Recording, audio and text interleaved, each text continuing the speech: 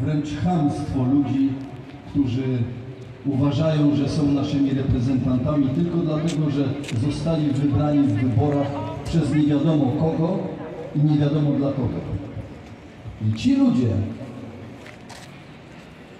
wytworzyli w sobie głębokie przekonanie, że my do nich należymy, że my już głos swój oddaliśmy, a oni teraz robią co chcą dla swojego interesu. Powiem Wam, czas gniewu minął. Cześć. Cześć, cześć. W kodeksie legionisty cudzoziemcego, cudzoziemskiego, francuskiej Legii Cudzoziemskiej jest napisane walcz bez nienawiści i emocji. Emocje mogę mieć do ludzi, których lubię, kocham, ale do śmiertelnych wrogów już nie powinienem mieć emocji. Wiecie dlaczego? Ponieważ wścieklizna może spowodować łzawienie oka, a łzawienie oka może przeszkadzać w zgryzieniu i szczerbinki. Zacytuję Wam tekst klasyka, który jest niestety ten cały czas aktualny i nie chce, nie chce się zde, zdeaktualizować. Wyżej mikrofon. Jak wyżej? Już? Wyżej za zawrotnie. O tak. Tutaj? No, ojciec dyrektor wszystko wie. Zważywszy, żeśmy byli słabi, oni praw namnożyli, co zniewalać nas pozwolą. My prawa te unieważnimy oczywiście, zważywszy, że się nie zgadzamy już z niewolą. Zważywszy, że oni nam wtedy grożą karabinami i bagnetem w pierś, więc my im powiemy dzisiaj, że podłe życie gorsze jest niż śmierć. Zważywszy, że i tak nie zrozumieją, prócz broni w ręku żadnych ludzkich słów, zważywszy, a to w końcu się opłaci przecie, zwrócimy ku nim wylotu lów. Można to traktować poetycko, można to traktować wprost, jak kto chce. Ale ta ustawa, która zostanie dzisiaj przegłosowana, jeśli zostanie przegłosowana, nie pozostawi nam wyboru. Nie pozostawi nam wyboru. Wolni ludzie nie mogą się na tę ustawę zgodzić nijak. Wolni ludzie muszą czynnie przeciwko tej ustawie i przeciwko ludziom, którzy tę ustawę przegłosują, występować. Ci ludzie, którzy mienią się posłami Rzeczpospolitej, którzy zagłosują za tą ustawą, stają po stronie naszych śmiertelnych wrogów. I to jest czysta polityka. To nie jest mowa nienawiści. Oni się stają naszymi śmiertelnymi wrogami. Z wrogiem się nie dyskutuje. Dyskutuje się z nieprzyjacielem.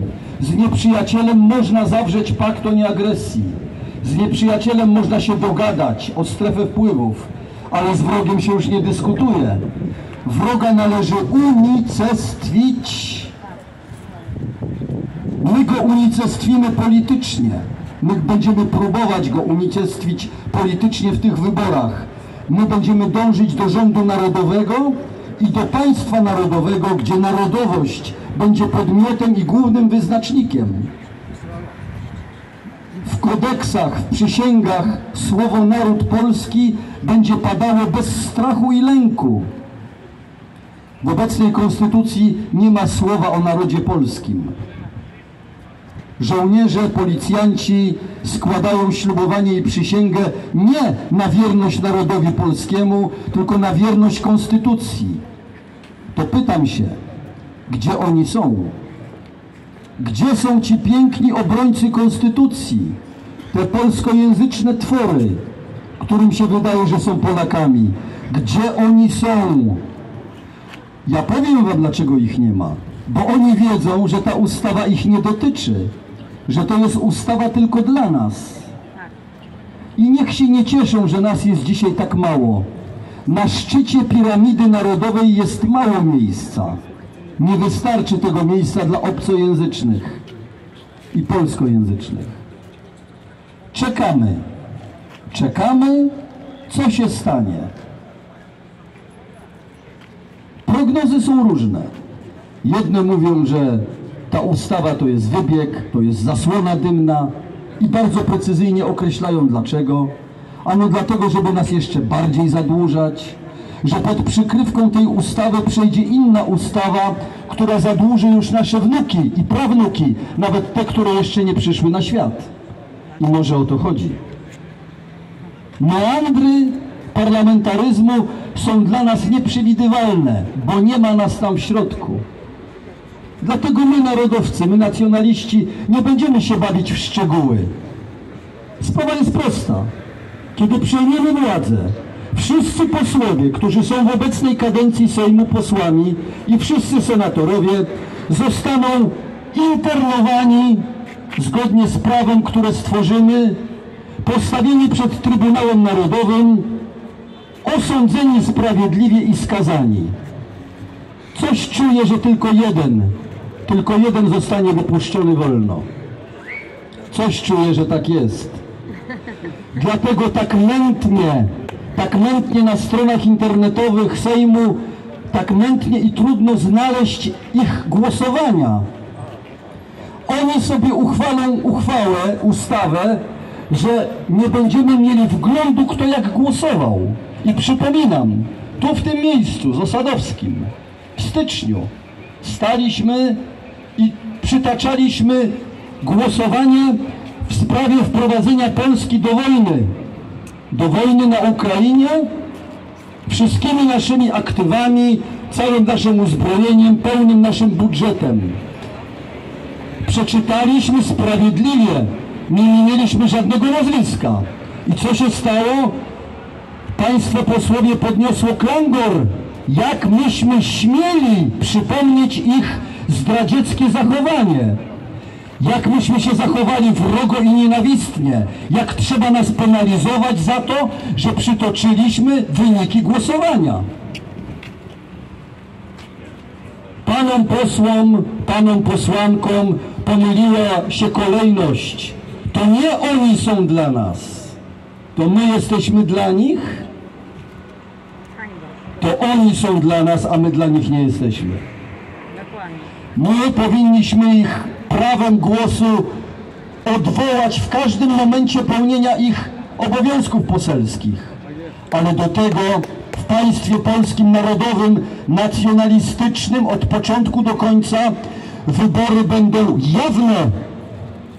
Bo tylko wtedy będziemy mogli posła, który się zborsuczy, złajdaczy, ze ścierli odwołać.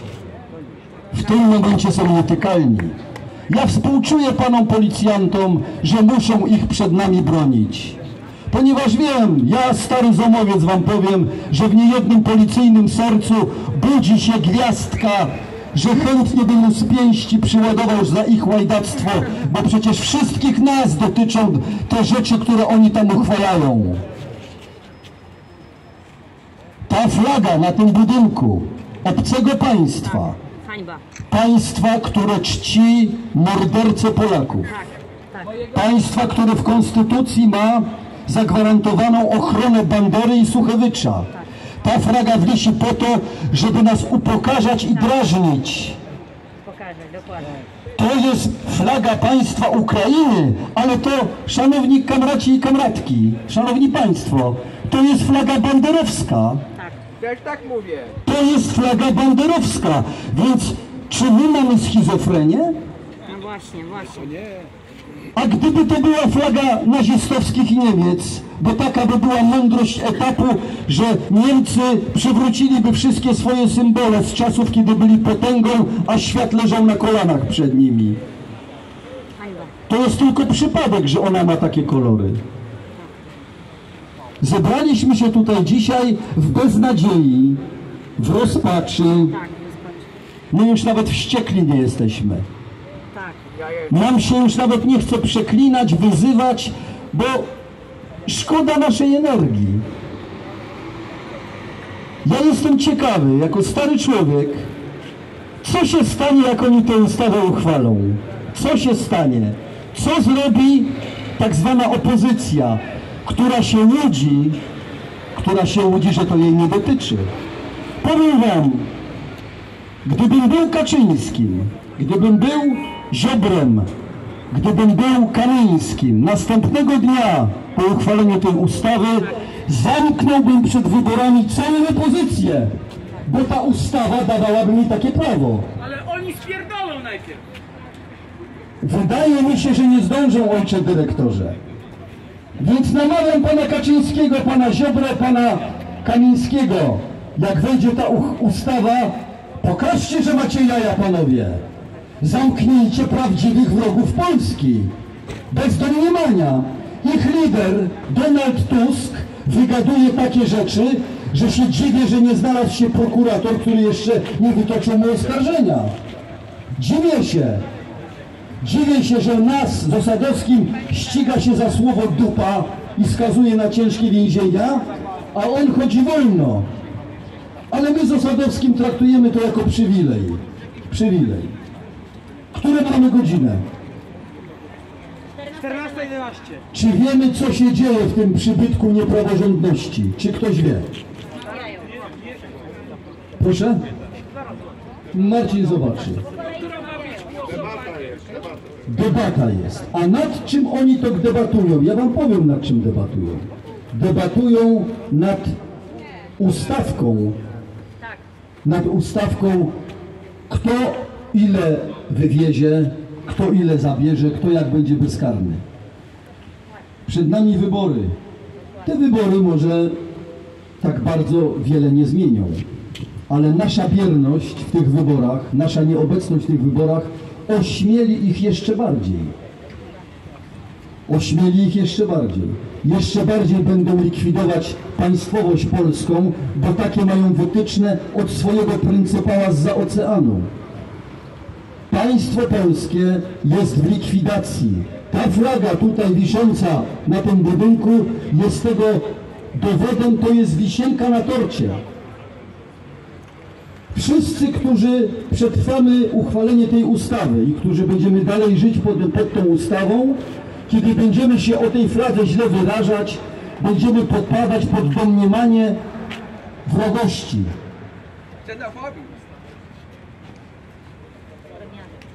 Rozmawiałem z panem policjantem, który, którego znam od dawna i któremu bardzo dziękuję za służbę i wszystkim policjantom polskim dziękuję za służbę. I przypomnę wam, panowie, taki bardzo przykry moment z historii, kiedy w październiku 1939 roku przestało istnieć państwo polskie i policjanci dostali rozkaz stawienia się do komisariatów. Jeśli by tego, wyroku, tego rozkazu nie wykonali, byliby rozstrzelani. I stała się rzecz niezwykle bolesna. Zdjęto z ich umundurowania orzełki i znaki polskie i przeformowano ich w granatową policję. Czas pokazał, że dla narodu było to zbawienne, bo w granatowej policji służyli Polacy. Dzięki temu państwo pod tytułem Generalne Gubernatorstwo funkcjonowało i nasi, nasi dziadowie, ojcowie nie pogubili flaków w niemieckich mundurach po frontach II wojny światowej. Namawiam Was, nie wierzcie im, myślę o posłach i senatorach, nie wierzcie im nawet wtedy, kiedy Was chwalą. Nawet wtedy, kiedy mówią rzeczy sprawiające Wam przyjemność. Nie wierzcie im. To jest nowotwór złośliwy. To jest rak. To jest choroba śmiertelna, która, żeby nas chociaż nagle zabiła, ale nie, ona nas wycieńczy, osłabi nasze rodziny, wyssie naszą energię. My, stoczeni w przestrzeń nędzy, będziemy konsumować ich pomysły. Oni zawsze znajdą usprawiedliwienie, oni zawsze zwalą winę na nas. To są źli ludzie, to są podli ludzie, to są zdrajcy Polski. Ja, Wojciech Olszański, stwierdzam, że ci, którzy zagłosują nad tą ustawą, są zdrajcami narodu polskiego. są zdrajcami państwa polskiego, są zdrajcami mojej ojczyzny. Stwarzają sobie przepisy, których nawet nie było w generalnym gubernatorstwie. Nawet w generalnym gubernatorstwie nie było. Powiem wam tak, nie mogę się doczekać śmierci tych ludzi. I życzę im śmierci. Kulturalnie, elegancko, jak przystało na białego człowieka, jak przystało na, na nacjonalistę. Chcę iść na ich pogrzeby i z ulgą rzucać grudę na ich trumny. Postaram się nie ominąć żadnego. Nie mogę się doczekać śmierci tych starców, tych złośliwych, zrakowaciałych, człekopodobnych, polskopodobnych tworów. Życzę im wszystkiego najgorszego. Życzę im nieszczęścia. Życzę im katastrofy osobistej. Tak, jestem mały i przepełniony jestem jadem, frustracją i nienawiścią.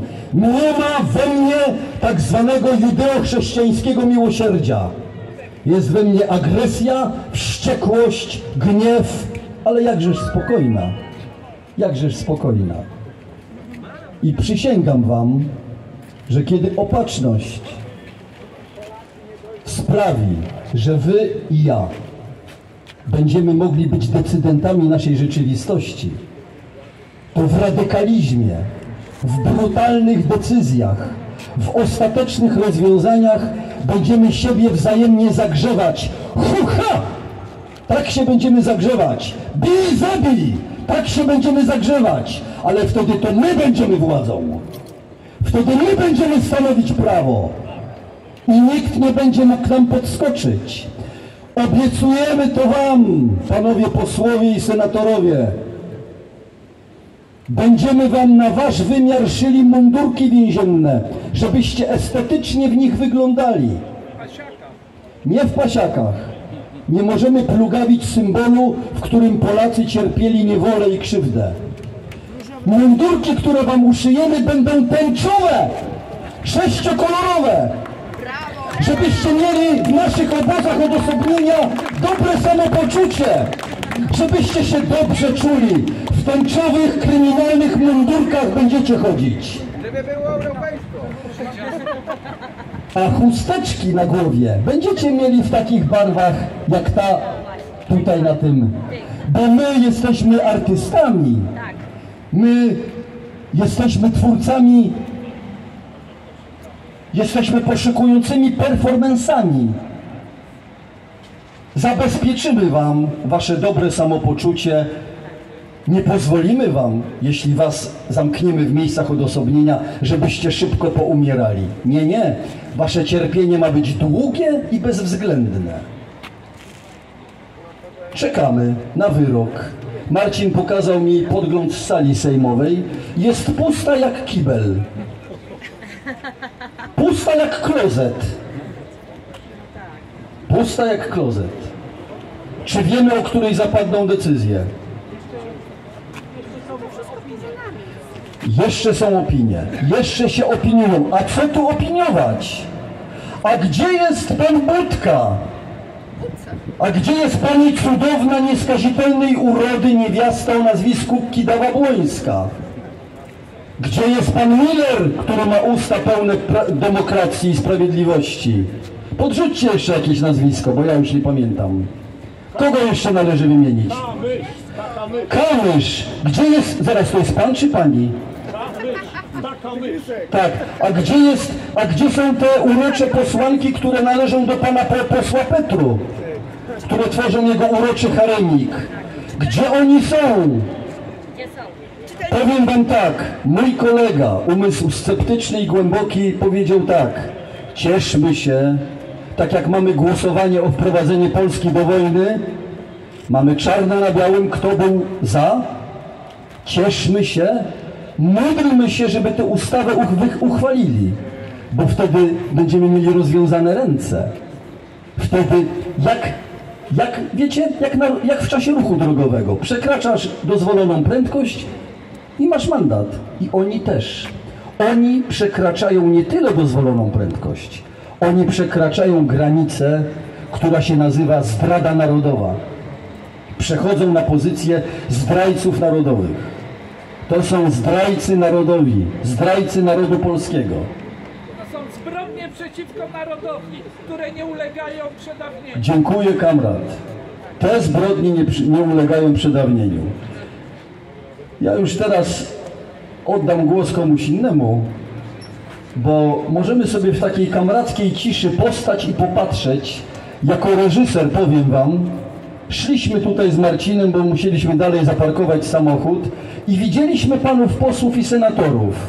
I powiem wam coś. Doznałem niezwykłej przyjemności. Oni nas rozpoznali i nie mogli pohamować się, żeby okazać nam swoją pogardę i stosunek swój do nas. Traktuję to jako nagrodę. Znaczy, trafiliśmy ich w nerw. Trafiliśmy ich w nerw. I oni wiedzą, że my mamy rację. Bardzo się z tego cieszę. I powiem Wam, najprzyjemniejszą rzeczą, którą mogę doznać w, danej sytuacji, to strach w ich oczach przed nami. Oni się mogą z nas śmiać, mogą nam ubliżać, mogą z nas kpić, ale jak zaglądniecie w ich oko, to zobaczycie tam strach. Oni się mają nas bać! Nie będziemy ich oswajać. Mają się bać. Jesteśmy dla nich koszmarem sennym. Nic gorszego w ich podłym życiu nie spotkało ich i nie spotka.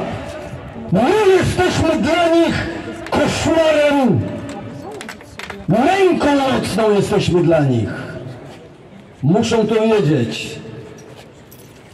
My ich obserwujemy, jak wilki obserwują stado baranów. Długo, długo, aż przyjdzie dogodny moment, kiedy będziemy ich rozszarpywać i oddzielać od stada. Nie wolno nam zapomnieć żadnego nazwiska. Żadnego. Żadnego nazwiska. Żadnego nazwiska. Obwiniam posłów Konfederacji, wyłączając posła Brauna, za to, że doprowadzili w ogóle do próby uchwalenia tej ustawy. To ich bierność, ich bierność, ich przyzwolenie, ich ugody i umowy spowodowały. Kto, jak się nazywa poseł, który wniósł tę ustawę?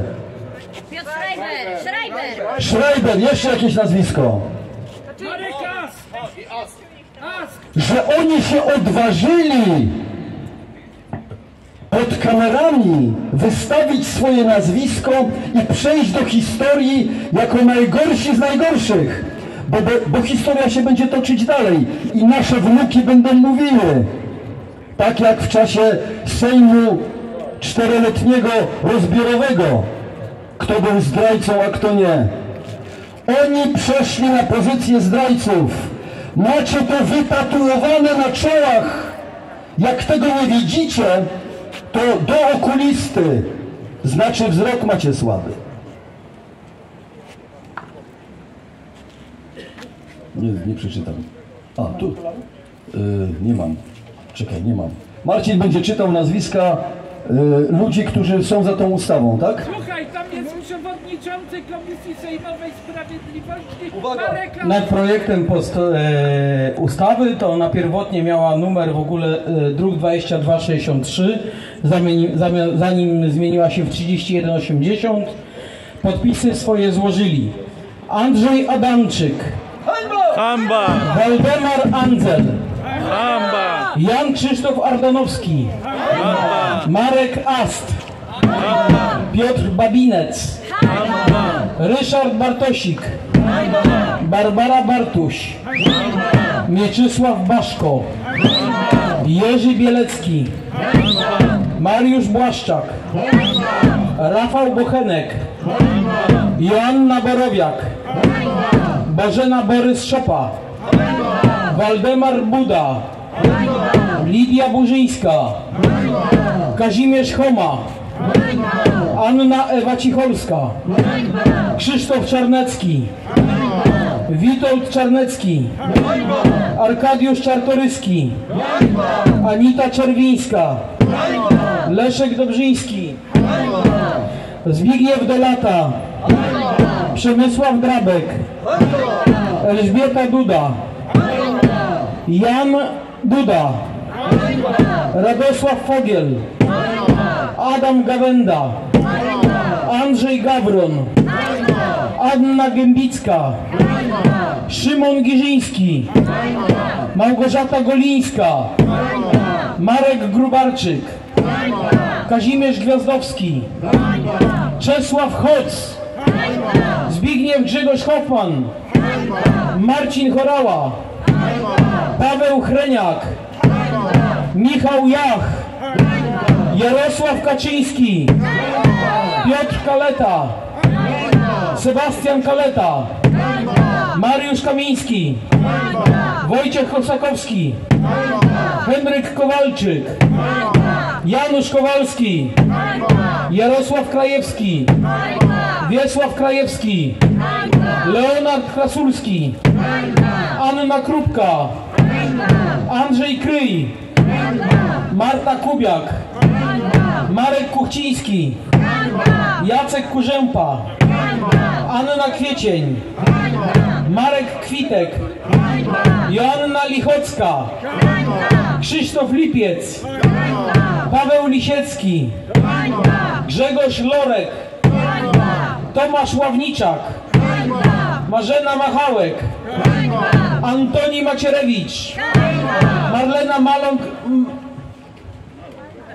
Marlena Maląg, Jerzy Małecki, Gabriela Masłowska, Jerzy Materna, Marek Matuszewski, Anna Milczanowska, Jan Mosiński, Kazimierz Moskal, Aleksander Mrówczyński, Piotr Müller, Danuta Nowicka, Waldemar Olajniczak, Adam Ołdakowski, Jacek Osuch, Anna Paluch, Teresa Pamuła, Anna Pieczarka, Dariusz Piątkowski, Marek Polak, Piotr Polak, Grzegorz Puda, Rafał Romanowski, Urszula Rusecka, Tomasz Rzymkowski, Anna Schmidt, Łukasz Schreiber,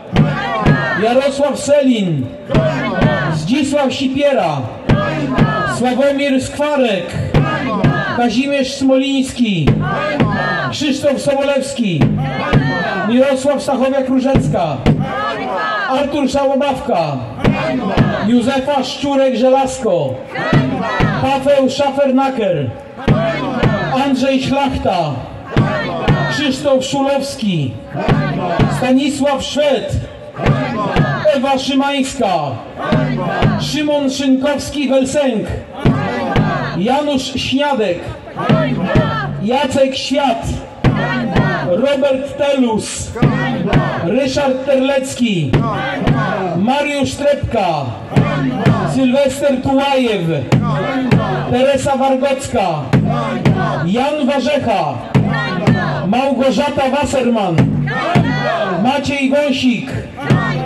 Rafał Weber, Grzegorz Wojciechowski, Grzegorz Adam Woźniak, Tadeusz Woźniak, Marek Zagórski, Tomasz Zieliński, Wojciech Zubowski, Ireneusz Zyska. Wnieśli projekt o zmianę Konstytucji Rzeczpospolitej Polskiej i między innymi w tym projekcie brzmienie artykułu 234 było zupełnie inne. Tam jednak była propozycja, aby ta propozycja odbierania majątku dotyczyła nie Polaków, nie obywatelów polskich.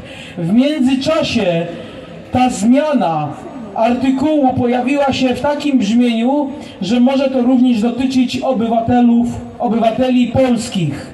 Doprowadziła ta zmiana do tego, że zamiast na przykład taki Jan Wincent Rostowski, minister finansów, który jednocześnie był łysy i rozczochrany, mógł odpowiadać finansowo. Dzisiaj już, dzisiaj już pod tą ustawę podlegają wszyscy Polacy. Ustawa, która będzie game changerem, czyli totalną zmianą. Ustawa, która będzie dotykała Polaków dokładnie tak samo jak ta niezdefiniowana mowa nienawiści.